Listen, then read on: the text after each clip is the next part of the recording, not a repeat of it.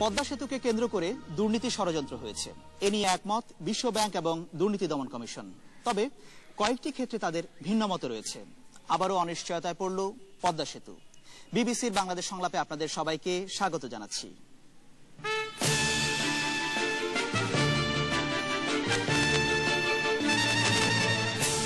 আজকের প্যানেলে আছেন ভূমি প্রতিমন্ত্রী ও দিনাজপুর জেলা আওয়ামী লীগের সাধারণ সম্পাদক মোস্তাফিজুর রহমান দিনাজপুর জেলা বিএনপি সভাপতি লুৎফুর রহমান মিন্টু, ফুলবাড়ী উপজেলা পরিষদের চেয়ারম্যান আমিনুল ইসলাম বাবলু এবং বেসরকারি সংস্থা ব্লাস্টের দিনাজপুর জেলা সমন্বয়ক সিরাজুম মুনিরা।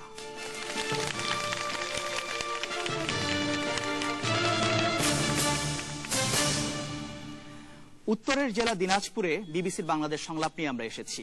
বিবিসির বাংলাদেশ সংলাপের চলতি সিরিজের ঢাকার বাইরে এটি প্রথম অনুষ্ঠান। এই অনুষ্ঠান পরিচালনা করা হয় আপনাদের প্রশ্নের ভিত্তিতে। আপনারা এখানে আসার আগে যে প্রশ্নগুলো জমা দিয়েছেন সেখান থেকে আমরা কিছু প্রশ্ন বাছাই করেছি। সেই ভিত্তিতে এখন এই অনুষ্ঠান পরিচালনা করা হবে। আমরা সরাসরি চলে যাচ্ছি প্রথম প্রশ্নে। প্রথম প্রশ্ন করবেন মোহাম্মদ সালে আক্তার। আমার প্রশ্ন ছিল পদ্মা সেতু নিয়ে যে অনিশ্চয়তার সৃষ্টি হয়েছে সরকার কি তার দায় এড়াতে পারবে? ধন্যবাদ আপনাকে। সরকার কি এর দায় এড়াতে পারবে কিনা? সম্প্রতিকালে দুর্নীতি দমন কমিশন এবং বিশ্ব ব্যাংকের যে আলোচনা হয়েছে সেখানে বেশ কিছু ক্ষেত্রে দ্বিমত আছে এমন কথা আমরা গণমাধ্যমে দেখতে পাচ্ছি। প্রথম উত্তর দিবেন মুস্তাফিজুর রহমান। আমাদের এই সরকারের যখন যে সমস্যা এসেছে সমস্ত সমস্যাই আমরা দায়িত্ব নিয়ে মোকাবেলা করার চেষ্টা করেছি। কিন্তু এখানে একটি প্রশ্ন যে পদ্মা সেতু নিয়ে এই সমস্যাটার কোনো কুল কিনারা হচ্ছে না। এইটা আপনারা জানেন বিশ্ব ব্যাংক আমাদের আহ, বিশ্ব ব্যাংক বলেন বা অন্যান্য দাতা সংস্থাগুলো বলেন আমাদের মতো গরিব দেশের উপরে বা যারা একটু স্বাবলম্বী হতে চায় সামনের দিকে যেতে চায় বিশ্ব ব্যাংকের এমন নানান শর্ত থাকে। সেই শর্তের বেড়াজালে আমরা আবদ্ধ থাকি। তার মধ্য দিয়েই যে ছিটে ফোটা আমরা পাই এ দেশের জন্য তো এটা নিয়ে অনেক কথা আছে আমার শেষ অতটা সময় তো আমি পাবো না। আমি শুধু সংক্ষেপে বলব বারবারই কথা উঠেছে যে কারা কারা অপরাধ করেছে কি? আমাদের দেশের প্রচলিত আইনে পরিষ্কার বলা আছে যে একটা অপরাধ সংগঠিত হবে তারপর সেই অপরাধের বিচার হবে। তাদের দেশের আইন হলো যে কোনো জায়গায় ষড়যন্ত্র হোক বা কোনো কথা হোক কোনো তদবির হোক সেটাও তাদের দেশে মিস্টার রহমান এখানে এখানে দুর্নীতি দমন কমিশন একমত হয়েছে যে দুর্নীতি ষড়যন্ত্র করা বাংলাদেশের আইনেও অপরাধ। অপরাধ। সেই অপরাধ অনুযায়ী সেই অপরাধ অনুযায়ী যাদের নাম এখন পর্যন্ত এসেছে যে কজনের নাম এসছে তারা তাদের মন্ত্রিত্ব নেই এবং তারা উপদেষ্টা নেই এবং তাদেরকে দুদকে যে মোকাবেলা করতে হচ্ছে এবং দুদক এটার ব্যাপারে সন্তুষ্ট হয়ে দুদক একটি স্বাধীন প্রতিষ্ঠান তারা এটার ব্যাপারে যে সিদ্ধান্তই নেবে সরকার সেই সিদ্ধান্তের সাথে নিশ্চয়ই একমত হবে। কিন্তু সেখানে বিশ্ব ব্যাংকের সঙ্গে একটা দ্বিমত তৈরি হয়েছে আমরা দেখতে পাচ্ছি গণমাধ্যমের খবরে যে একজনের বিরুদ্ধে মামলা করা হবে কিনা একজন মন্ত্রী সাবেক মন্ত্রীর বিরুদ্ধে সেটা নিয়ে সেরকম কোনো কথা আনুষ্ঠানিকভাবে এখনও শুনি আনুষ্ঠানিকভাবে হয়নি কিন্তু গণমাধ্যমে এসে যখন আনুষ্ঠা- গণমাধ্যমে তো দৈনন্দিন সরকারে নাই দেশে। গণমাধ্যমে বলা হচ্ছে যে সরকার নাই। ধন্যবাদ আমি মনে করি এই দেশের মানুষের ম্যান্ডেট নিয়ে সরকার এসছে। গণমাধ্যমের কথা শুনে যদি সরকার চলে সরকার এক মিনিট চলতে পারবে না বাংলাদেশে। ধন্যবাদ আপনাকে। সিরাজুম মনিরা পদ্মা সেতু নিয়ে যে অনিশ্চয়তা বলুন বিতর্ক বলুন আলোচনা বলুন যেটা চলছে সরকারের দায় এখানে আছে কিনা? আপনার কি মনে হয়? অবশ্যই সরকারের দায় আছে।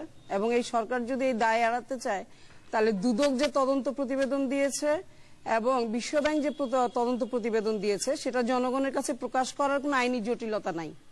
সরকার দায় এড়াতে চাইলে সেই ইয়েতে কি আছে? তদন্ত প্রতিবেদনে কি আছে? এটা জনগণের কাছে দেওয়া উচিত। এবং যে একজনের জন্য যে বারবারই বিশ্বব্যাংক পিছিয়ে যাচ্ছে, তা আমার কথা হলো একজন মানুষের চেয়ে একটি দেশ অনেক বড়। এটা ষোলো কোটি মানুষের দেশ। ষোলো কোটি মানুষের স্বার্থ যেখানে সেখানে একজনের জন্য বিশ্বব্যাংকে বারবার চলে যাবে এটা কাম্য নয়। ধন্যবাদ আপনাকে। আমি একটু দর্শকদের কাছে যেতে চাই। হাত তুলেছেন? জি পেছনে। এই বাংলাদেশের মানুষ একাত্তরে সারা পৃথিবীর বৃহৎ শক্তিগুলির বিরোধিতার মুখে পাকিস্তানের সেই শ্রেষ্ঠ সেনাবাহিনীর বিরুদ্ধে দাঁড়িয়ে যুদ্ধ করে তিরিশ লক্ষ মানুষের রক্তের বিনিময়ে স্বাধীন করেছে। এই দেশের মানুষ চাইলে সব করতে পারে। আমি মনে করি এর বাস্তবতা দেশে আছে। এখানে এখানে সরকারের কি কোনো দায় আছে পদ্মা সেতু নিয়ে? আপনি যিনি প্রশ্ন করেছেন। Must why not government has responsibility for this ইয়ে ধন্যবাদ আপনাকে। এই পাশে একজন হাত তুলেছেন যে আপনি। আমরা কিন্তু ক্লিয়ারলি আমাদের মুস্তাফিজুর রহমান ফিজার ভাইয়ের কাছ থেকে উত্তরটা পাইনি। সরকারের দায় আছে কিনা উনি এখনও স্বীকার করেন নাই। এভাবে কিন্তু আমরা আমাদের স্বীকারোক্তিগুলো আমাদের মন্ত্রী আমলাদের মাধ্যমে পাচ্ছি না। কেন তারা স্বীকার করতে রাজি হচ্ছেন না যে এর মধ্যে অনেক দায় আছে সরকারের? আপনার কি মনে হয় দায় আছে? অবশ্যই সরকারের দায় আছে এবং এই সরকারের আমলে আমার মনে হয় সেটা সম্ভব না এই পদ্মা সেতু নির্মাণ। আমি আপনার কাছে আসব আবার। আহ, হাত তুলেছেন এখানে কোনায় একজন হাত তুলেছেন? জি। ভূমি প্রতিমন্ত্রী স্যার বলেছেন যে দুদক স্বাধীন। দুদক যদি স্বাধীনই হয় তাহলে আমাদের সাবেক যোগাযোগ মন্ত্রী আবুল হোসেনের নাম বারবার এই সমস্যাটাতে একবার ইনক্লুড হচ্ছে একবার সরে যাচ্ছে কেন? আচ্ছা ধন্যবাদ আপনাকে। এটা গণমাধ্যমে এই খবর এসেছে এটা আনুষ্ঠানিক নয় সেটা মন্ত্রী নিজেও বলেছেন। আপনার কাছে আমি আসছি। তার আগে আহ, আমিনুল ইসলাম বাবলু। সারা অঙ্গে ঘা মলম লাগায় কোথা? শুধু পদ্মা না গোটা অঙ্গেই ঘা। আর মাননীয় মন্ত্রী মহোদয় যেটা বলেছেন আসলে একদিকে ঠিক অপরদিকে একটি বিষয় বর্তমান সরকারের সময় বিরোধী দল তেমন কোনো ভূমিকা রাখতে পারেনি। মিডিয়ায় কিন্তু উল্লেখযোগ্য এবং গৌরবোজ্জ্বল ভূমিকা রেখেছে। সাংবাদিক জগ- জগতের দুই নক্ষত্র তার কারণেই বলি হয়েছে কিনা রুমি সাগর সেটাকেও দেশবাসীকে দেখতে আসেন যে যে প্রশ্নটা উঠেছে সরকার কি দায় এড়াতে পারে কিনা? না কখনোই সরকার দায় এড়াতে পারে না। সেটা আপনি কীভাবে একটু ব্যাখ্যা করবেন যে সরকার কেন দায় এড়াতে পারে না? সরকার, এই সরকার এসেছিল দুর্নীতির কথা বলে, দুর্নীতি দমন করবে, দুর্নীতিকে মূলত পাঠন করবে। সেই জায়গা থেকে বিশেষ করে বলা যায় যে পদ্মা সেতুর বিষয়টি আমাদের বাংলাদেশের ভবিষ্যৎ যোগাযোগের ক্ষেত্রে একটি বিশাল ভূমিকা রাখতে পারে। সেইটি আজকে অনিশ্চয়তার মুখে পড়ে গেছে। কারণ সরকারই আসলে বিষয়টি প্রাথমিক পর্যায় থেকে তেমন গুরুত্ব দেননি। এড়িয়ে গেছেন উপরন্ত আবুল হোসেন যোগাযোগ মন্ত্রীকে বলা হয়েছে দেশ সাবেক মন্ত্রীকে বলা হয়েছে দেশপ্রেমিক। স্বয়ং যখন প্রধানমন্ত্রী এটা বলেন তখন এক ধরনের ছাপাই গাওয়া হয়। ফলে আজকে যখন দুর্নীতি দমন আর কমিশন এবং বিশ্বব্যাংক দুর্নীতির বিষয়ে বলছেন সেই সময় সরকারকে দায় এড়িয়ে যাওয়ার কোনো সুযোগ নেই। ধন্যবাদ আপনাকে। লুৎফুর রহমান মিন্টু, সরকার দায় এড়াতে পারে কি না? পদ্মা সেতু নিয়ে। বিসমিল্লাহ রহিম। সরকার কোনো ক্রমেই এর দায় এড়াতে পারে না। এই জন্যই যে পদ্মা সেতুটা, তাদের একটা পলিটিক্যাল কমিটমেন্ট ছিল যে ক্ষমতা আসার আগেই তারা পদ্মা সেতু করবে ক্ষমতা আসলে। কিন্তু এই পদ্মা সেতুতে দুর্নীতির নামে যেভাবে তারা দুর্নীতি জড়াই পড়তেছে, এটা অকল্পনীয় অবস্থা। এটা সরকার কোনো ক্রমে দায় এড়াতে পারে না। সবচেয়ে দুঃখজনক ব্যাপার, যেটা সরকারের কাছে ব্যক্তির চেয়ে এটা আমাদের কথা আছে দলের চেয়ে ব্যক্তির চেয়ে দল বড় দলের চেয়ে দেশ বড়। কিন্তু সরকারের কাছে কিন্তু ব্যক্তিটা এখন বড় হয়ে দেখা দিয়েছে। কেননা গত কিছুদিন আগে আপনারা জানেন সবাই মিডিয়াতে বা পেপারে দেখছেন ওয়ার্ল্ড ব্যাংকের টিম এসে দেখে গেলেন এবং তাদেরকে নির্দিষ্ট হবে কিছু লোককে দায়ী করে তারা গেছেন। কিন্তু তারা বর্তমান মানে এই সরকার তাদের ব্যক্তিকেই তারা অগ্রাধিকার দিয়ে তাদের এই ব্যক্তিটা বিচার করতেছে না। মিস্টার মিন্টু সরকার কি করতে পারতো এই পদ্মা সেতুতে?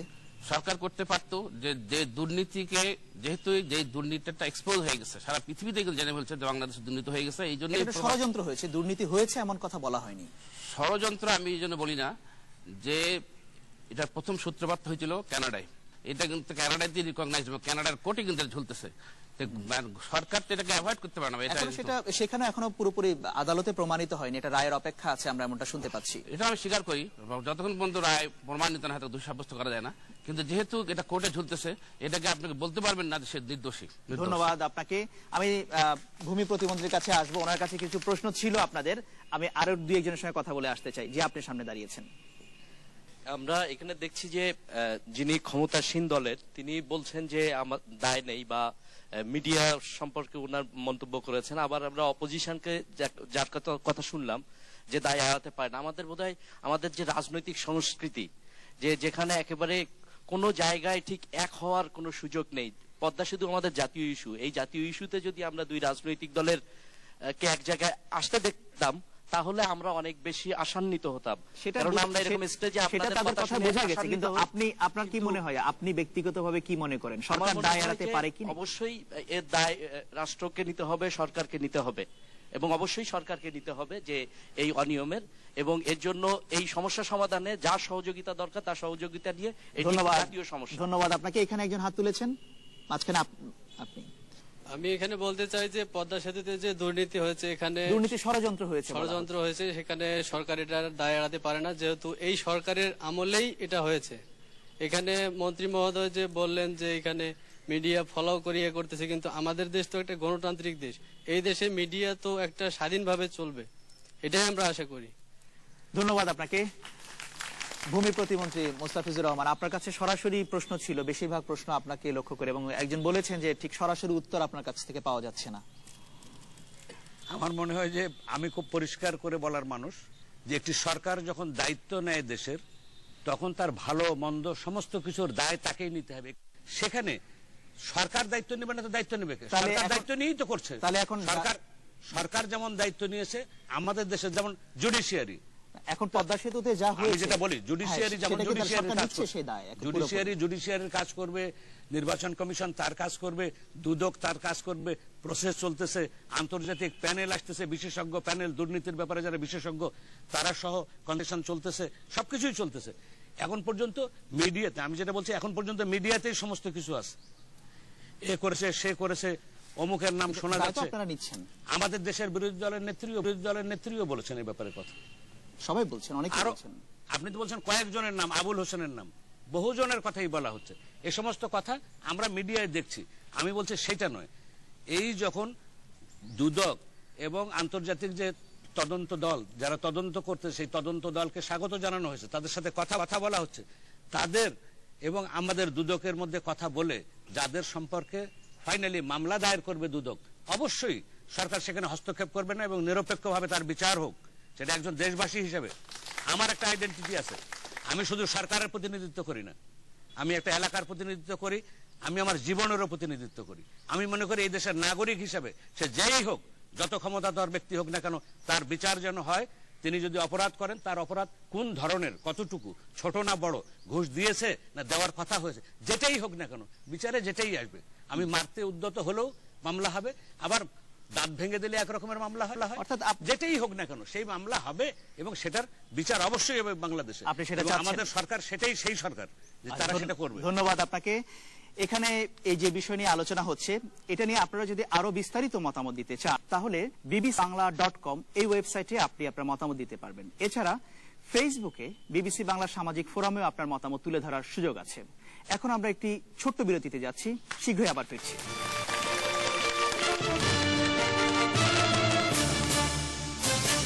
বাংলাদেশ সংলাপ। এখন দ্বিতীয় প্রশ্ন করবেন। দ্বিতীয় প্রশ্ন করবেন রাজিয়া সুলতানা। ফুলবাড়ি অঞ্চলে জনপদ জীববৈচিত্র্য ধ্বংস করে উন্মুক্ত পদ্ধতিতে কয়লা খনি হলে আমরা কি লাভবান হব? ধন্যবাদ আপনাকে। ফুলবাড়িতে উন্মুক্ত পদ্ধতির কয়লা খনি হলে লাভবান হবে কি হবে না? এখন এটা নিয়ে সাম্প্রতিককালে অনেক কথাবার্তা হচ্ছে। আবার নতুন করে ইস্যুটা সামনে এসেছে। ফুলবাড়ি উপজেলার চেয়ারম্যান মিস্টার বাবলু আপনি তো দীর্ঘদিন ধরে তেল গ্যাস রক্ষা কমিটির সাথে জড়িত এবং একটি বাম সংগঠনের সাথে আপনি রাজনীতির সঙ্গে জড়িত। এটা নিয়ে আন্দোলন করছেন। ফুলবাড়ি বিষয়টি নিয়ে দেশবাসীকে আসলে পরিষ্কার একটি ধারণা ফুলবাড়িবাসী দিয়েছিল। দীর্ঘদিন ধরে আন্দোলন চলছে। প্রাণ প্রকৃতি পরিবেশ জীব বৈচিত্র্য তিন ফসলি জমি, সকল স্থাপনা ধ্বংস না করে নতুন কোনো প্রযুক্তি আসলে শতভাগ কয়লা দেশের মালিকানায় এবং শতভাগ কয়লা দেশের কাজে লাগাতে হবে। এই আন্দোলনে অর্থাৎ বিদেশি না, রপ্তানি না, উন্মুক্ত না, এই আন্দোলন দু হাজার পাঁচ সাল থেকে ফুলবাড়ি সহ দিনাজপুর তথা সারা দেশের দেশপ্রেমিক জনতা এই আন্দোলন চালিয়ে যাচ্ছে। আন্দোলনের এক পর্যায়ে দু সালে ছাব্বিশে আগস্ট ফুলবাড়ি গণঅভ্যুত্থান সংগঠিত হয়। সেখানে আমিন সালেকিন তরিকুলের রক্তে লেখা ফুলবাড়ি গণঅভ্যুত্থানের মধ্য দিয়ে ছয় দফা চুক্তি তিরিশে আগস্ট। এটা ব্যাকগ্রাউন্ড বা ইতিহাস এটা লোকজন জানেন। এখন যে প্রশ্নটা উঠেছে এটা হলে কি লাভবান হবে কি হবে না সেই প্রসঙ্গ। কোনো ক্রমেই লাভবান হবে না। এক লক্ষ বিয়াল্লিশ হাজার একশত কোটি টাকা তাদের হিসাব অনুযায়ী দু হাজার পাঁচ সালের হিসাব অনুযায়ী তারা লাভ করে নিয়ে যাবে। তারা বিনিয়োগ করবে নয় হাজার তিনশত কোটি টাকা। প্রতি বছর আমাদের ফসলি জমির যে ক্ষতি পরিমাণ হবে সেটা তিনশো কোটি টাকার মতো। অর্থাৎ আটত্রিশ বছরে প্রতিদিন আশি কোটি লিটার পানি এখান থেকে অপসারণ হবে। দশ লক্ষাধিক মানুষ এই উদ্বাস্তু হয়ে যাবে। গোটা উত্তর অঞ্চল মরুভূমিতে পরিণত হবে। এই বিদেশি কোম্পানিকে উৎখাত না করলে বাংলাদেশ তথা উত্তর অঞ্চল ভয়াবহ আপনারা- কি চাচ্ছেন যে এটা যদি বিদেশি কোম্পানি না করে বাংলাদেশ সরকার যদি করত তাহলে কি আপনারা রাজি থাকতেন? আমরা বলেছি তিনটি সত্যের কথা যে আমাদের প্রাণ প্রকৃতি পরিবেশ তিন ফসলি সোনার খনি যে তিন ফসলি ফসল তাকে রক্ষা করে নতুন কোন প্রযুক্তি ব্যবহার করে যাতে এই সমস্ত সেটা এখন পৃথিবীতে আপনার চিনচিলায় একটা পরীক্ষা হচ্ছে। ওয়েবসাইটে আপনারা দেখবেন অস্ট্রেলিয়ার চিনচিলায় কোল ক্যাসিফিকেশন পরীক্ষা হচ্ছে। সেটা যদি ক্ষতিকারক না হয় সেটা আগামী প্রজন্মের জন্য রেখে এটা পরীক্ষা করতে হবে। ধন্যবাদ আপনাকে। মাননীয় প্রধানমন্ত্রীও বলেছেন চোদ্দই জানুয়ারি। আমি একটু বলে নেই। মাননীয় প্রধানমন্ত্রী চোদ্দই জানুয়ারি এই বছরই বলেছেন যে কয়লা আগামী প্রজন্মের জন্য মজুদ থাক এবং নতুন প্রযুক্তি আসলে আমরা এটাকে কাজে লাগাবো কয়লা হয়তো তুলতেই লাগবে না। চোদ্দই জানুয়ারি মাননীয় প্রধানমন্ত্রীরও ঘোষণা। ধন্যবাদ আপনাকে। সিরাজুম মনিরা দীর্ঘ এক- বিতর্কের একটি বিষয় যে দিনাজপুরে হ্যাঁ, কয়লা খনি। এক কথায় বলতে গেলে বলতে হবে যে আহ, আমরা কোনোভাবেই লাভবান হব না বরং ক্ষতিগ্রস্তই হব বেশি। যদি ব্যাখ্যা দিতে হয় তাহলে আহ, আমি বলতে চাই যে আমাদের একটি কয়লা নিতে হওয়া প্রয়োজন জ্বালানি নিতে হওয়া প্রয়োজন। তারপরে আমার দেশের সম্পদ আমার দেশের মানুষই ব্যবহার করবে। এবং এই কারণে কি পদ্ধতিতে হবে, আমার দেশে কিন্তু গবেষকের অভাব নেই এখন। আমার দেশের গবেষকরাই ঠিক করবে এটা কি পদ্ধতিতে করা হবে। এবং সবচেয়ে বড় কথা, আমার সম্পদ বিদেশে যাবে না। আমার সম্পদ আমার দেশের কাজেই লাগবে। আজকে লাগবে না কালকে লাগবে, আগামী প্রজন্মে কাজে লাগবে।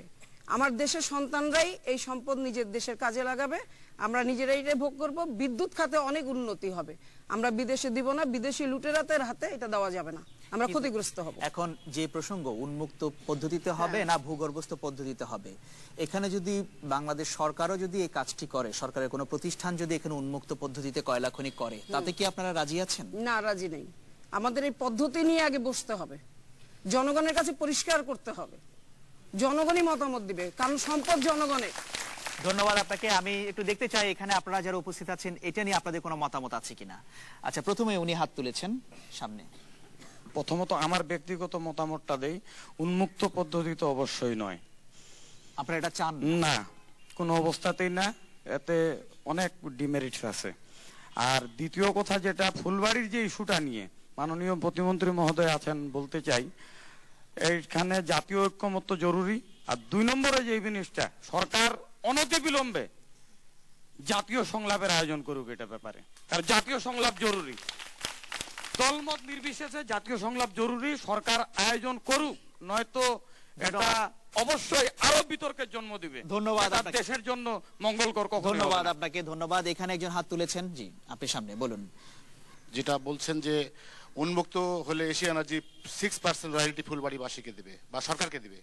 এটা কোনো ক্রমেই মেনে নেওয়া যাবে না। সিক্স পার্সেন্ট রয়্যালিটি এটা আসলে আহ, প্রশ্নকর্তা প্রথমে প্রশ্নের কথা বলছিলেন যে এখানকার জীববৈচিত্র্য ধ্বংস করে এই কয়লা খনি করতে দেওয়া যাবে না। আর উন্মুক্ত পদ্ধতিতে ফুলবাড়ির জনগণ চায় না। এখানে পরিবেশের ব্যাপক বিপর্যয় ঘটবে। এছাড়াও এই মনিরাপা যে বললেন যে কয়লা নিতে হওয়া দরকার বা জ্বালানি নিতে হওয়া দরকার, অবশ্যই আমরা শুনছি যে এরকম একটা নীতি হচ্ছে, পরীক্ষামূলকভাবে বড় পুকুরিয়াতে একটা উন্মুক্ত করার চিন্তা ভাবনা হচ্ছে। তো যে, যেটা বিষ, সেটার পরীক্ষা করে দেখার দরকার নেই। উন্মুক্ত তো আমরা চাচ্ছি না, উন্মুক্ত হলে ধ্বংস হবে। সেখানে পরীক্ষা করারও দরকার নেই। ধন্যবাদ, আপনাকে এখানে হাত তুলেছেন আপনি পঞ্চম সারিতে বসা। বলুন। আমরা যে কোনো একটি ইস্যুকে সমস্যা আসলেই দেখি এদেশে রাজনীতিকরণ করা হয়। এই রাজনীতির ঊর্ধ্বে উঠে দেশের মঙ্গলের জন্য যে পদ্ধতিতে কয়লা উত্তোলন করে আমাদের জাতীয় অগ্রগতি আরও সামনের দিকে এগিয়ে নেওয়া যায় সেই বিষয়ে চিন্তা করা আপনার কি মনে হচ্ছে যে ফুলবাড়ি কয়লা খনি নিয়ে কোনো রাজনীতি হচ্ছে? আমার স্পষ্ট মনে হচ্ছে, কারণ যখনই সরকার এটাকে উত্তোলন করে জাতীয় অগ্রগতির দিকে, নজর দিকে যায়, তখনই দেখি তার বিরুদ্ধে একটি প্রচারণা চলে যে এই পদ্ধতিতে নিলে লাভবান হবে না। আমি পত্রিকার বিভিন্ন কলাম পড়েছি, সেখানে দেখা গেছে উন্মুক্ত পদ্ধতিতে কয়লা যদি উত্তোলন করা হয়, তাহলে যে পরিমাণ কয়লা উত্তোলন করা হবে উন্মুক্ত পদ্ধতির বাইরে গেলে তার ষোলো ভাগের এক ভাগ কয়লা উত্তোলন করা হবে। উন্মুক্ত পদ্ধতিতে গেলে যে পরিমাণ অর্থ সরকারের আপনার ব্যক্তিগত ধারণা কি? আপনি তো বিভিন্ন মতামত দেখেছেন। আপনি উন্মুক্তের পক্ষে? আমার ব্যক্তিগত ধারণা হলো এই বিষয়টা যেহেতু ওইখানকার জনগণের সাথে সংশ্লিষ্ট সেই জনগণকে নিয়ে বসে সরকার এবং বিরোধী দল জাতীয় স্বার্থের ঊর্ধ্বে উঠে। জরুরি একটা সমাধান ধন্যবাদ আপনাকে। এখানে ফুলবাড়ি থেকে এসেছেন এমন কেউ কি আপনারা আছেন? আপনাদের বাড়ি ফুলবাড়ি? আমি এইটুকু বলতে চাই যে বড়পুকুরে খনি উনিশশো চুরানব্বই সালে যখন আন্ডারগ্রাউন্ড মাইনিং করা হয়েছিল, সে সময় কাল ওই এলাকার মানুষ আমরা বুঝতে পারি নাই যে আন্ডারগ্রাউন্ড পদ্ধতিতে কয়লা তুললে কি পরিস্থিতি হয়। বাস্তব যখন উনিশশো পঁচানব্বই সালে যখন এই দশই সেপ্টেম্বর যখন এই কয়লা বাণিজ্যিক ভিত্তিতে যখন উত্তোলন করা শুরু হলো তখন আমরা বুঝতে পারলাম যে এই আন্ডারগ্রাউন্ড মাইনিং এর কল কোল টানার পর উপরে যে ভূপৃষ্ঠে এইটা নিচে চলে যায় এবং বাড়িঘর বিধ্বস্ত। সেখানে পরিবেশের একটা ক্ষতির কথা বলা হচ্ছে কিন্তু আপনার বাড়ি তো ফুলবাড়িতে। এখন যেটা অনেকেই বলছেন বা এশিয়া এনার্জির কথা যে ক্ষতিপূরণ দেওয়ার পরে এইখানে যদি আপনাদের বাড়িঘর ক্ষতি হয় ক্ষতিপূরণ দেওয়া হবে এবং আপনাদেরকে আরও উন্নততর জীবন যাপনের কথা বলা হচ্ছে। সেটা দিলে কি আপনি রাজি আছেন? না এটাতে আমি পক্ষপাতিত্ব নই। যেহেতু আমার বাসা ফুলবাড়ি এবং ফুলবাড়ির মানুষ এবং সুদীজন রাজনৈতিক মহল এবং সরকারি এবং বেসরকারি বিভিন্ন লোকজনকে নিয়ে সেখানে বসে এই সমাধানটা করা উচিত। তা না হলে আগামীতে বারবার দেখতেছি যে যখনই আন্দোলন হয় পক্ষ বিপক্ষে এখানে একটা ইস্যু সৃষ্টি হয় এবং সেখানে ধন্যবাদ আপনাকে। আর কেউ আছেন বলবেন আপনি? পেছনে মাঝখানে হাত তুলেছেন। আমার মনে হয় যে ফুলবাড়িতে যারা বাস করতেছে তাদেরকে বিভিন্নভাবে লোভ দেখিয়ে এই যে উন্মুক্ত পদ্ধতিতে কয়লা খনি করার জন্য প্ররোচিত করা হচ্ছে। কিন্তু আমার মনে হয় যে এটা শুধু ফুলবাড়িবাসীর জন্য না আমাদের দিনাজপুর এবং বৃহত্তর দেশের স্বার্থে এটা ক্ষতিকর। আচ্ছা ধন্যবাদ আপনাকে। প্রথমে মিন্টু সাহেব। দেখতে পাচ্ছি যে বড় পুকুরে যে কয়লা খনিটা আছে, সেইখানে কয়লা খনিটা উন- উন্মুক্ত আকারে করতেছে না, তার আন্ডারগ্রাউন্ড মাইনিং করতেছে। সেই কয়লা খনি হওয়ার পরে দেখা যাচ্ছে যে ওইখানে হাজার হাজার লোক, পরোক্ষ হোক বা পরোক্ষ প্রত্যক্ষ হোক, পরোক্ষভাবে হোক, তারা উপকৃত হচ্ছে, ব্যবসা করতেছে, বিভিন্নভাবে তারা উপকৃত হচ্ছে। এবং সেইখানে একটা পাঁচশো মেগাওয়াটের যে বিদ্যুৎ একটা কেন্দ্র সৃষ্টি তৈরি হচ্ছে। সেই বিদ্যুৎটা সারা দেশবাসী পাচ্ছে, বিশেষ করে দিনাজপুরবাসী তো সেই পাই তা আমার কথা হলো যেসব কিছু করতে গেলে এলাকার লোকের সাথে আলোচনা করে সকলের সাথে এবং পলিটিক্যাল হোক আপনার এলাকার সুদী বাসিন্দা হোক সকলকে নিয়ে আলোচনার মাধ্যমে এটা করা দরকার। কেননা এত বড় সম্পদ দেশের নিচে রাখে আমাদের দেশ সারা দেশ আবার সমস্যা থাকবে এটা এটাও তো ঠিক না। অর্থাৎ এখন যে প্রশ্নটা উঠেছে নতুন করে যে উন্মুক্ত পদ্ধতিতে হবে না কি হবে আপনার ব্যক্তিগত মতামত কি? আমার ব্যক্তিগত কয়লাটা উত্তোলন করা আমার ব্যক্তিগত মতামত। কিন্তু যদি উন্মুক্ত করে বা আন্ডারগ্রাউন্ডই করে তো এলাকার যে লোকের জনসাধারণ যারা আছে তাদের কাছ থেকে মতামত নিতে হবে এবং তাদেরকে ক্ষতিপূরণ একদম বর্তমান যেটা যেটা দরকার বর্তমান বাজার মূল্যে তার সম্পূর্ণ ক্ষতিপূরণ দিতে হবে এবং যে যে লোকগুলা যারা ওখানে উচ্ছেদ হয় বা কিছু হবে তাদেরকে পুনর্বাসনের ব্যবস্থা করে দিতে অবশ্য অবশ্যই হবে। ধন্যবাদ আপনাকে। মোস্তাফিজুর রহমান আপনি তো সে এলাকারই একজন সংসদ সদস্য। বিষয়টা একটা খুব স্পর্শকাতর বিষয়। আর আজ পর্যন্ত এই বিষয় নিয়ে কোনোদিনও এরকম কোনো সংলাপে আমি যদি ওই এলাকার প্রতিনিধি, আমাকে কোনোদিনও ডাকা হয়নি। জাতীয় পর্যায়ে যে বিতর্ক আছে। আমাদের বাবলু সাহেব বললেন, দশ লক্ষ লোক উদ্বাস্তু হবে। কোটি কোটি লিটার। ওনার বক্তব্যে যদি আপনার শুনেছেন দশ লক্ষ লোক উদ্বাস্তু হবে যদি ফুলবাড়ির কয়লা খনি হয়। পাঁচ বর্গ কিলোমিটার বা ছয় বর্গ কিলোমিটার এলাকার মধ্য থেকে এই খনিটার কয়লা উঠবে। তো ছয় বর্গ কিলোমিটারের মধ্যে কি আমার ফুলবাড়ি পার্বতীপুরের মোট লোক সংখ্যা দুই থানার যদি সব লোক সংখ্যা হয় তো সেটাই তো দশ লক্ষ নয়।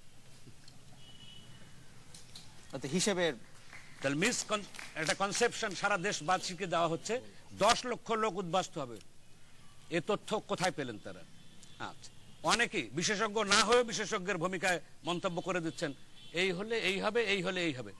বাংলাদেশে ফুলবাড়ির কয়লা খনি যদি উন্মুক্ত হয়, কি করবে না করবে সরকারের ব্যাপার। এই দেশ পরিচালনার নিকট ভবিষ্যতে বা দূর ভবিষ্যতে কারা যাওয়া আসা করবে আপনারা বোঝেনি দু তিনটি দল আছে যারা বারে বারে ক্ষমতায় আসবে, যাবে, তাই নাকি তা আমি মনে করি, এটার ব্যাপারে সরকারকেই ভাবতে হবে, এই কয়লা কোন পদ্ধতিতে উঠাবেন? ওপেন মাইনিং হলে নাইনটি ফাইভ পার্সেন্ট বা নাইনটি টু পার্সেন্ট উঠবে, আর আন্ডারগ্রাউন্ডে যেটা উঠতেছে, সেটা উঠতেছে অনলি ফিফটিন পার্সেন্ট বাকি পঁচাশি ভাগ কয়লা কবর হয়ে যাচ্ছে সারা জীবনের জন্য। আর কোনোদিনও উঠবে না। তাহলে আমার দেশের রিসোর্স আমি মোবিলাইজ করতে পারলাম না।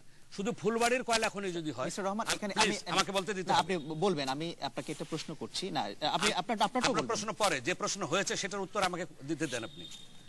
আমি কোনোদিনও বলিনি এই কয়লা নিয়ে আজকে আমি সুযোগ পেয়েছি আমাকে বলতে দিতে হবে। আমার কথা হলো যে এই কয়লা উঠলে বিশেষজ্ঞরা বলছেন যে এই ফুলবাড়ির যদি এর থেকে উন্মুক্ত করা হয়, তারা বলছেন, করবে কি না করবে সরকারের ব্যাপার। তাহলে এখানে পাঁচ হাজার মেগাওয়াট বিদ্যুৎ হবে, পঞ্চাশ বছর চলবে আনইন্টারাপ্টেড আমাদের দেশের কয়লা কয়লাবাদ এখন যে কয়লা দিয়ে হচ্ছে, কয়লা, তেল, গ্যাস, ডুয়েল, ফুয়েল, সব দিয়ে এখন মাত্র পাঁচ হাজার, সাড়ে পাঁচ হাজারে গেছে। তাও কোনো সময় পাওয়া যায়, কোনো সময় পাওয়া যায় না। গ্যাসের অপরন্ত ভান্ডার আর নাই বলা হচ্ছে। তাহলে সারা দেশের মানুষ প্রত্যেক গ্রামে গেলে এখন আমাকে ধরে আগে বিদ্যুৎ, তারপর রাস্তা। আমাকে, আমি এমপি হিসাবে পঁচিশ বছর ওখানে এমপি তো আমার জনগণের। মানুষের দাবি হলে বিদ্যুৎ চায় তা আমরা যদি পাঁচ হাজার মেগাওয়াট বিদ্যুৎ জাতীয় গ্রিডে দিতে পারি উন্মুক্ত পদ্ধতিতে তাহলে সারা দেশে কত বিনিয়োগ হতে পারে, কত কর্মসংস্থান হতে পারে? এখন প্রশ্ন হলো, ক্ষতি তো হবেই। মায়ের গর্ভ থেকে শিশু যখন বেরিয়ে আসে, মায়ের কিন্তু প্রসব যন্ত্রণা মানে মৃত্যু যন্ত্রণা। আবার পিতা অপেক্ষা করে কখন তার সন্তানের মুখ সেটা আছে। সে ব্যাপার তো আছেই। এখন প্রশ্ন হলো যাদের কাছে আমি নেগোসিয়েশন করে নিব ফুলবাড়ির মানুষের কাছে দশ লক্ষ নয় পাঁচ বর্গ কিলোমিটার ছয় বর্গ কিলোমিটার মধ্যে কতটুকু সম্পত্তি যাবে? বড় পুকুরিয়াতে আন্ডারগ্রাউন্ড মাইনিং সেখানে তো ওপেন মাইনিং হয়নি হাজার হাজার বিঘা জমি এখন কিনে নিতে হচ্ছে সরকারকে। অথচ মূল প্রপোজালে প্রজেক্ট প্রপোজালে সেটা ছিল না। প্রজেক্ট কস্ট কমাবার জন্য সেটা করা হয়নি। এখন সেই জমি দশ ফিট বিশ ফিট করে গর্ত হয়ে যাচ্ছে। তাহলে দাঁড়াল কি? তাহলে আমার আন্ডারগ্রাউন্ড মাইনিং করলেও যদি এলাকার একশো নব্বই কোটি টাকার জিওবি থেকে সেখানে এখন বিতরণ করা হচ্ছে। দশ লক্ষ টাকা পার বিঘা দেওয়া হচ্ছে। আমি আপনাকে একটা প্রশ্ন করতে চাই যেটা আমি একই অবস্থাতে এখানে বলবেন দশ লক্ষের জন্য বিশ লক্ষ হ্যাঁ, দিতে পারে আপনাদের প্রধানমন্ত্রী সেটা দিতে হবে? প্রধানমন্ত্রী বলেছেন যে ভবিষ্যৎ প্রজন্মের জন্য প্রধানমন্ত্রী যেটা বলেছেন এটা প্রধানমন্ত্রীর বক্তব্য। আমি দিচ্ছি আমার বক্তব্য। আপনি আমার কাছে প্রশ্ন করেছেন। আমি মনে করি ওই এলাকার প্রতিনিধি হিসেবে। সরকারের সরকারের অনতিবিলম্বে আমি ক্যাবিনেটও বলেছি অনতিবিলম্বে ফুলবাড়ির কোলের ব্যাপারে সিদ্ধান্ত নিতে হবে। যদি এই দেশে জাতীয় গ্রিডে আরও পাঁচ হাজার মেগাওয়াট বিদ্যুৎ দিতে হয় সেই বিদ্যুৎ একমাত্র এখান থেকে। দু সালের পর ডারবান সম্মেলনে পরিষ্কার বলে দিয়েছে দু সালের পর কোন জীবাশ্ম জ্বালানি এখানে কি সরকারের- থাকলেও আপনি উঠাতে পারবেন। এখানে কি সরকারের নীতির কোনো পরিবর্তন আমি মনে করি যারা কয়লা নীতির কথা আগে বলছেন ভাত খাওয়ার কোন নীতি বাবা আদম আলাহিসামের আমল থেকে হয়নি। ভাত খাচ্ছে কীভাবে? ভাত খাওয়ার নীতি নাই ভাত খাচ্ছি এখন যে জরিপটা। হচ্ছে- তাহলে কয়লা নীতির কারণ আমি মনে করি উত্তরবঙ্গের উত্তরবঙ্গের মানুষকে বিশেষ করে এই অঞ্চলের মানুষকে দাবিয়ে রাখবার জন্য। এটা করা হচ্ছে না। সিলেটের গ্যাস ফিল্ডে আগুন ধরছে না? সেখানে তো বন্ধ হয়নি কোনোদিনও। এখানে এই কয়লার ব্যাপারে নীতির কথা দোহাই দেওয়া হচ্ছে মানুষের ক্ষতির কথা। ক্ষতি আমাদের হবে আমাদের লোককে আমরা বুঝাবো। তুমি দিবা কি জনগণ পাবে কি সেটা বোঝাও। আর রয়্যালটি কত নিবে এটা? রয়্যালটি সরকার বার্গেনিং করুক। পৃথিবীর যেখানে যেখানে আছে সব বার্গেনিং করে। আমি বলব এই ব্যাপারে বিশেষ করে যে সমস্ত দল দেশের নেতৃত্ব করছে আগামী দিনে নেতৃত্ব করবে যারা ক্ষমতায় যাবেন আসবেন তাদের ব্যাপারে আমি বলি যে সরকারে আসুক না কেন এই কয়লা খনির ব্যাপারে তারা সিদ্ধান্ত নিলে আমি তাদের পক্ষে আছি। জি ধন্যবাদ আপনাকে ধন্যবাদ আপনাকে। আহ, আমিনুল ইসলাম বাবলু। আমি যে বিষয়টি বলতে চাই মাননীয় মন্ত্রী মহোদয় এড়িয়ে যেতে পারবেন না। উনি দু সালের ছাব্বিশে আগস্ট ঘটার পর চার তারিখে আজকের প্রধানমন্ত্রী তৎকালীন বিরোধী দলের নেত্রীকে সঙ্গে নিয়ে আসলেন ফুলবাড়ির মাটিতে। একসঙ্গে ঘোষণা দিলেন যে ফুলবাড়িবাসী সেলুট সেলুট সেলুট ছয় দফা চুক্তি বাস্তবায়ন না হলে তৎকালীন বিরোধী দলকে হুঁশিয়ারি করে বললেন তার পরিণতি চুক্তি এই যে তার কপি। উনি উনি উনি বলেছেন ছয় দফা চুক্তি বাস্তবায়ন না করলে তার পরিণতি হবে ভয়াবহ এবং বিএনপির সময়। এবং আমরা ক্ষমতায় গেলে ছয় দফা চুক্তি বাস্তব করবে এটাকে চ্যালেঞ্জ করুক তার দায় দায়িত্ব বলেনি। আর আরেকটি বিষয় ওনাদের সরকারের এগারো সালের বিশেষজ্ঞ কমিটির রিপোর্ট আগে হলেন মতিন পাটোয়ারির রিপোর্ট তার আগে হলো নুরুল ইসলাম স্যারের রিপোর্ট। সেই রিপোর্ট বাদ দিলাম ওনারা একটি রিপোর্ট তৈরি করলেন পৃষ্ঠা নম্বর দশ লক্ষাধিক মানুষের পুনর্বাসন জটিলতা অস্থিরতা সংঘর্ষের উচ্চ মাত্রার ঝুঁকি তৈরি করবে পৃষ্ঠা নম্বর তিরিশ। ধান গাছের তক্তা হয় দশ লক্ষ লোক আমার এলাকায় আমি জানি না। কেন বলেছে? আটত্রিশ কোটি লিটার ওপেন খনিতে পানি প্রতিদিন আশি কোটি লিটার আটত্রিশ বছর ধরে পানি পাম্প করানো হবে। চল্লিশ কিলো এলাকায় আর প্রভাব প্রভাব ডিপ পড়বে। টিউবওয়েলে কত কোটি লিটার উঠতেছে জিনিসটা আমার- সেটাই, অনেক কিছু- আপনি তো বিশেষজ্ঞ না আমিও নয় এটা আপনাদের ধন্যবাদ। বিশেষজ্ঞ। ধন্যবাদ আপনাদেরকে শ্রদ্ধেয় মন্ত্রী মহোদয় আপনি এর দায় এড়াতে পারবেন না আপনি মাননীয় প্রধানমন্ত্রীকে চার তারিখ। সালে আগস্টের ধন্যবাদ আপনাদেরকে, থামতে হবে থামতে হবে আমরা এটা নিয়ে মিস্টার বাবলু থামতে হবে আমি দুঃখিত। প্রতিবাদ করতে পারে। আমি দুঃখিত। গ্রিন পার্টি আন্দোলন ঠিক আছে আমিও মিস্টার জার্মানি বাবলু, গেছি। এটা ধন্যবাদ। আমরা অনুষ্ঠানের আমাদের যেটা হচ্ছে আমরা সবকিছু মিলে আমরা কথা বলব। এটা নিয়ে বিতর্ক আছে বিতর্ক চলবে আমরা আবার এগুলো নিয়ে কথা বলব। এখন শ্রোতা দর্শকদেরকে জানিয়ে রাখি বিবিসির বাংলাদেশ সংলাপে আপনারা যদি অংশগ্রহণ করতে চান তাহলে আপনি টেলিফোন অথবা এস করতে পারেন শূন্য এক সাত পাঁচ দুই, সাত সাত সাত দুই দুই দুই এই নম্বরে। অথবা আপনি ইমেইলও করতে পারেন। ইমেইলের ঠিকানা হলো সংলাপ at BBC dot C O dot UK এখন আমরা ছোট্ট আরেকটি বিরতিতে যাচ্ছি। কিছুক্ষণের মধ্যেই ফিরবো।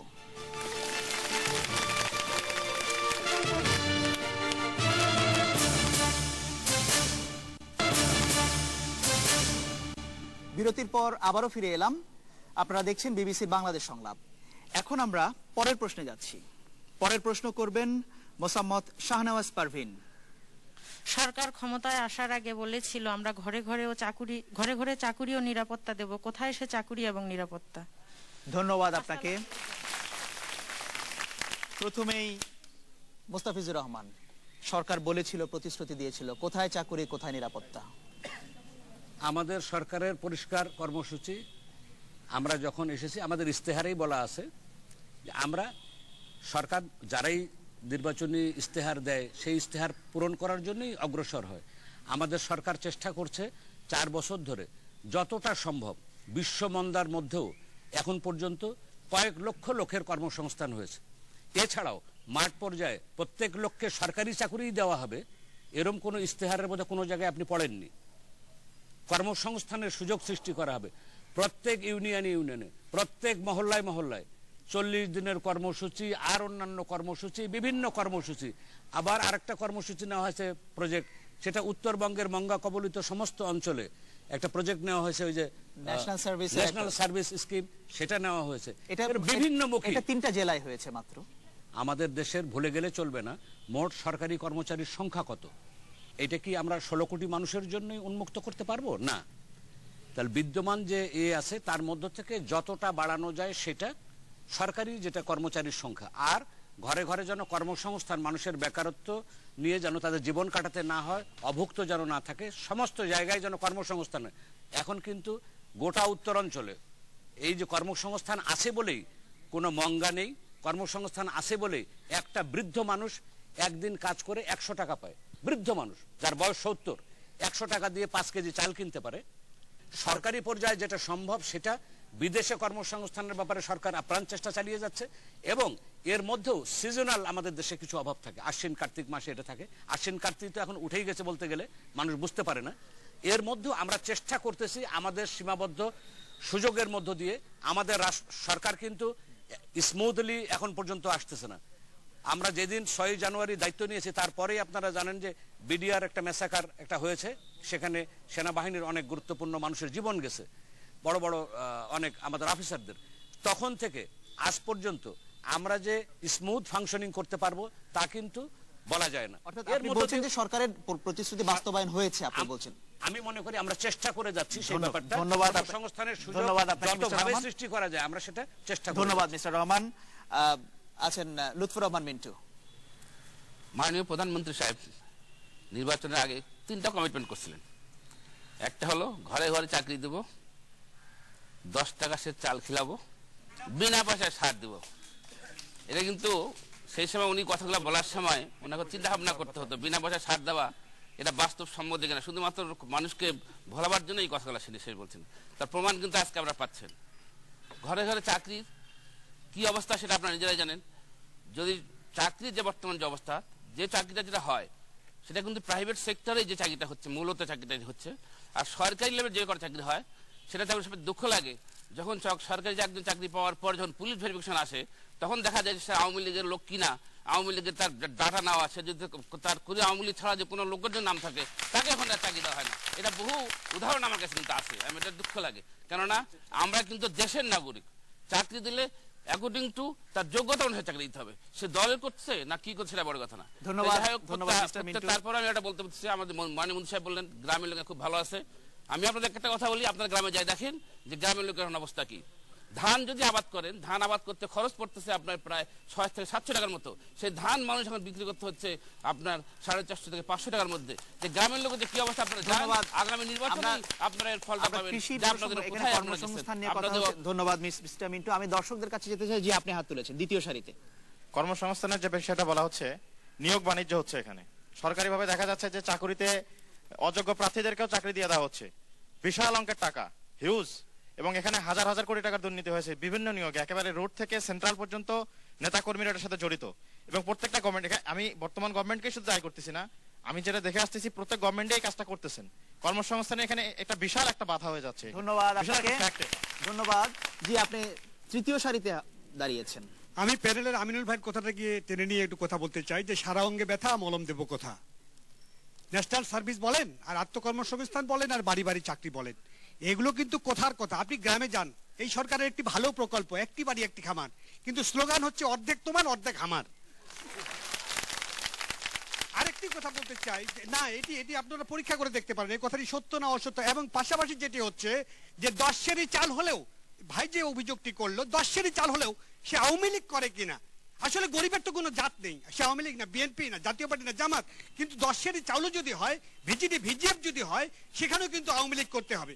ভাই যে কথাটি বলেছে অবশ্যই আমরা কথা বুঝতে পেরেছি। ডিও ছাড়া আমরা আপনার কথা বুঝতে পেরেছি যে পেছনে আপনার পরে একজন নারী হাত তুলেছেন। জি আপনি।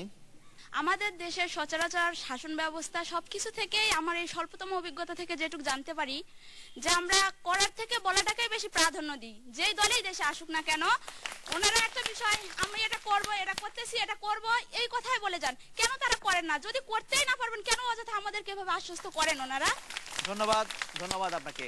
আমি প্যানেলে ফিরে আসছি আমিনুল ইসলাম বাবলু। ঘরে ঘরে চাকরির প্রতিশ্রুতি নিয়ে মন্ত্রী বলছেন যেটা বাস্তবায়ন হয়েছে কিন্তু অনেকে সন্দেহ আছে। বিষয়টি আমি যে চিন্তার মানুষ সেখান থেকে একটি জিনিস বলতে চাই। আমাদের দেশের শাসক শ্রেণি তাদের চরিত্রটি হচ্ছে লুটেরা। আমাদের দেশের শাসক শ্রেণির লুম্পেন বর্জুয়া জাতীয় বর্জুয়া না। এদের চরিত্রই তাই প্রতারণা ওয়াদা করবে প্রতারণা করবে। এটি বিশেষ করে মাত্রা বেড়ে যাচ্ছে ধীরে ধীরে হয়তো আওয়ামী লীগের পর্যায়ে এসে মাত্রাটি বেড়েছে।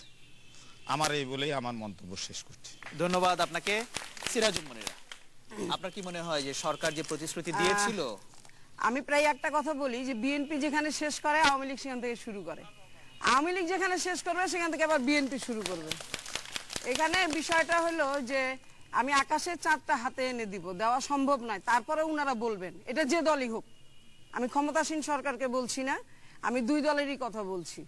অনেক ইমোশনাল ব্ল্যাকমেইলিং আমাকে আমি এটা পাবো আমি আবেগে আক্রান্ত হই। আমি ভোট দেই তাকিয়ে থাকি পাই না। এখন এই দুর্নীতির বিষয় বলতে গেলে দুই পক্ষকেই বলতে হবে। সবাই আমাদেরকে আশ্বাস দেয়।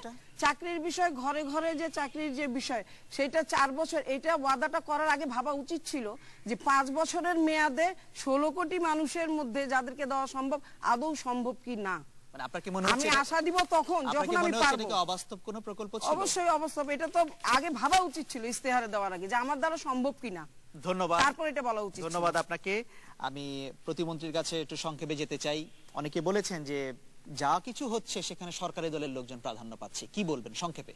উনি কোন এলাকার কোন দলের আইডেন্টিটি আছে আমার আমার জানা নেই।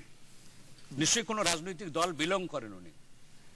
উনি যেটা বললেন যে আওয়ামী লীগ ছাড়া গম পায় না চাল পায় না। আমি পঁচিশ বছর ধরে একটা এলাকায় আমি জনগণের নির্বাচিত প্রতিনিধি। এইটার মধ্যে আওয়ামী লীগ হলে পাবে আওয়ামী লীগের প্রতিষ্ঠান এইটা এইটা মাদ্রাসা এইটা স্কুল এইটা মক্তব এইটা হিন্দুর মন্দির বা এইটা গির্জা এগুলো তফাৎ আমি করে কখনো দেখিনি। এটা আমার এলাকার আমি সব এলাকার তো খবর জানি না। তা আমি মনে হয় যে কথাটা উনি বললেন আপনি সেটার সঙ্গে একমত হচ্ছে না ওনার সাথে একমত হব কারণ উনি বাস একজন লোক উনি সেই ধন্যবাদ দিতে আসছেন এখানে। এবং আমি আরও বলি আমার কথা হলো যে প্লিজ আমার কথাটা এ করেন।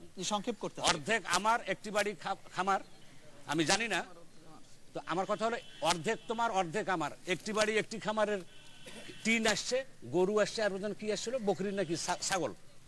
আমরা একসাথেই ছিলাম বোধহয় যখন যেদিন বিলি হয়। ধন্যবাদ, যাদের নামে আসলো তারাই তো নিল তো অর্ধেক তো উপজেলা চেয়ারম্যানও। নেয়নি আমিও নেয়নি আমার। উপজেলায়। উনি কোথাকার খবর টানতে কোন থানার খবর টানতেছেন আপনি? ধন্যবাদ মিস্টার রহমান। মিস্টার রহমান একটু আপনি বসুন। আপনি বসুন যাই হোক। না না দে- দে- দেখেন আমরা পরে আপনি সেটা বলতে পারতেন না না মিস্টার রহমান মুসাগঞ্জ থানা এটা হচ্ছে। মিস্টার রহমান আমি আমরা বুঝতে পেরেছি। করে সারা বাংলাদেশের তুলনা দিয়ে রহমান সেটা একটা অভিযোগ এসেছে আপনি ধন্যবাদ।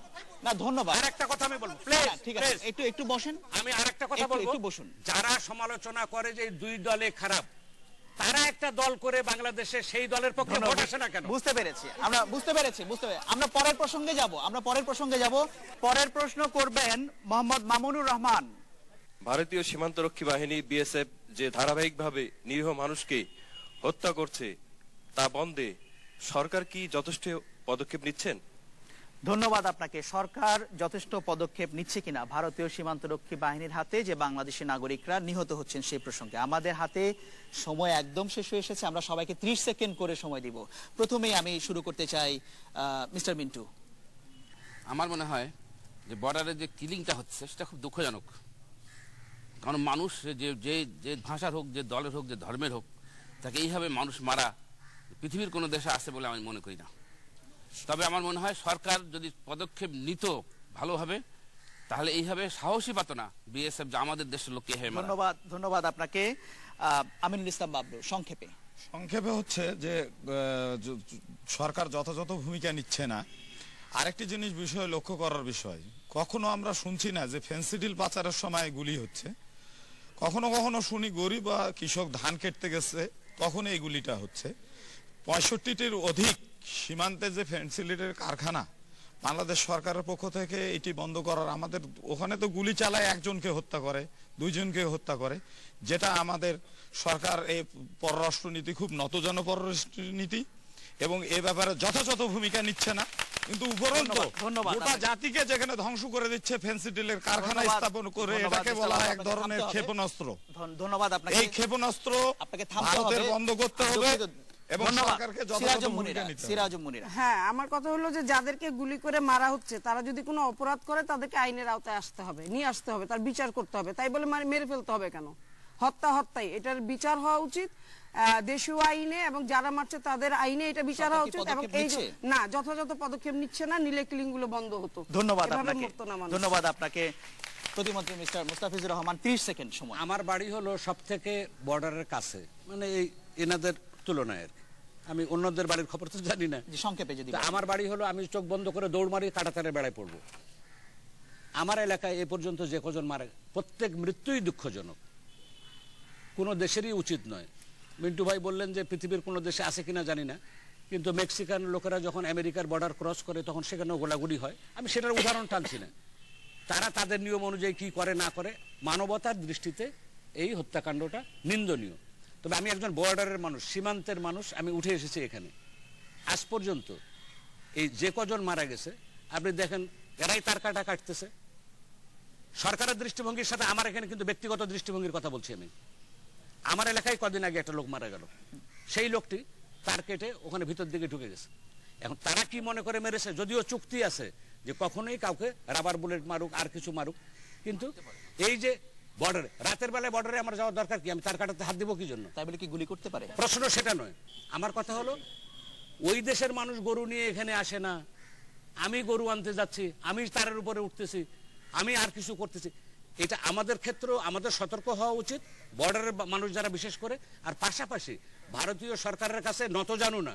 ধন্যবাদ। আওয়ামী লীগের সরকার নত জানু হয়ে ভারতের পতাকায় বাংলাদেশে উঠায় বাংলাদেশের পতাকায় আমরা মুক্তিযুদ্ধ ধন্যবাদ। আপনাকে আমাদের হাতে সময় শেষ হয়ে এসেছে।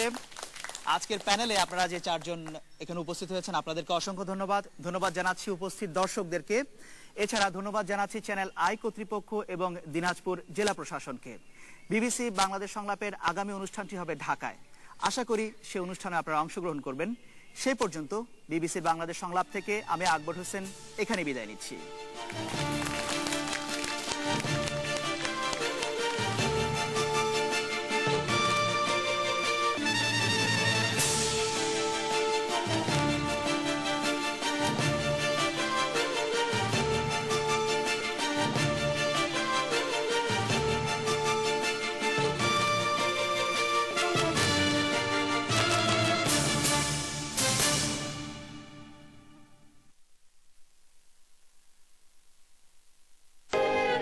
ডিসেম্বর সকাল এগারোটা পাঁচ মিনিট থেকে দুপুর দুটা পর্যন্ত দিনব্যাপী দেখবেন। আমির